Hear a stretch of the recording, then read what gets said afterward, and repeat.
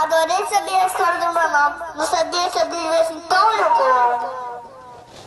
É, mas a Bíblia não é só um livro de histórias maravilhosas. Ela nos ensina a tomar decisões certas, nos ensina o caminho certo, nos ensina como tratar certo o nosso próximo. Mas que próximo? Que vem depois de mim? Não, Samuel, nosso próximo não é quem vem depois da gente. É quem está perto da gente, pertinho da gente, assim, ó. Igual em você. Que nem você Que nem o seu pai. e minha irmã É, e a sua mãe. e meus amigos E os meus amigos também. e... E.